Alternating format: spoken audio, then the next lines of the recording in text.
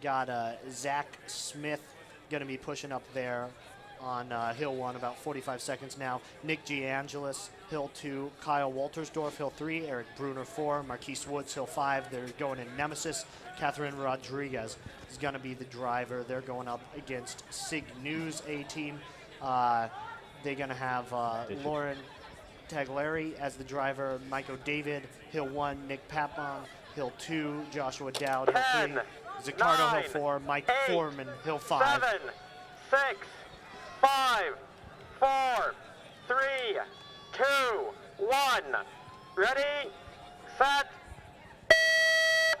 And here we go. Let's see uh, what Signu can do against this strong Pika A team. It actually looks like, uh, is that Marquise? Yeah, it looks like they, Looks uh, like, they yeah, they moved. that. switched It's definitely things not up. Zach Smith. No. Uh, Zach Smith does some radio with us. Great guy. Hill 2 is still uh, the guy they call Dozer. You can see why. Dude is built. Pretty good exchange there, right around the same time that uh, we saw earlier. Nice push there. Real tight corner by him. And uh, About a 27 second at the crosswalk. Yeah, about a three-second lead at the crosswalk for uh, Pika A over Sigma Nu A. You got your own clock down there, Mark? I'm just counting in my head. All right. and uh, looking to pull away a bit here in the free roll. That uh, gap is widening. No, it's about the same actually. Yeah.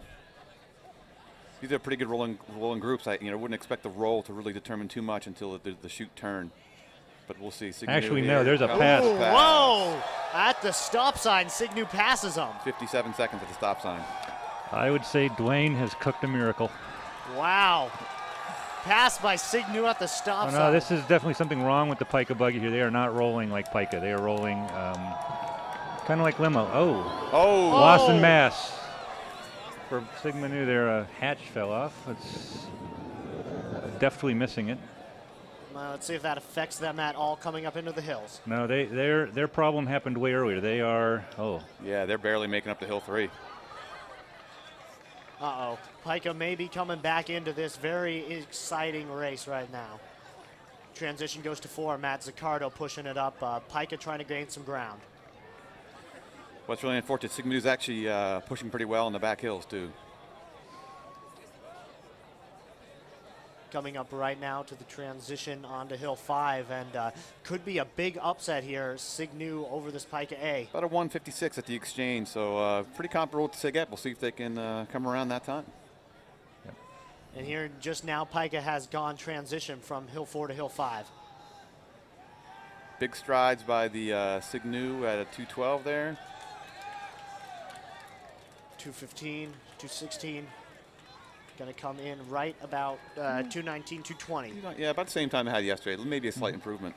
And Pika now 225, uh, 227. Mark, you mentioned. So, can you tell something go wrong with their buggy there? Because that is a very un-Pika time. well it it, it started uh, well up on the on the free roll. They uh, So we're going to uh, get the replay, I think, of, a, of your of the Sigma Nu pass, and I think we're going to see the uh, the wheel cover come off too. yeah I may not be able to speak here for a moment.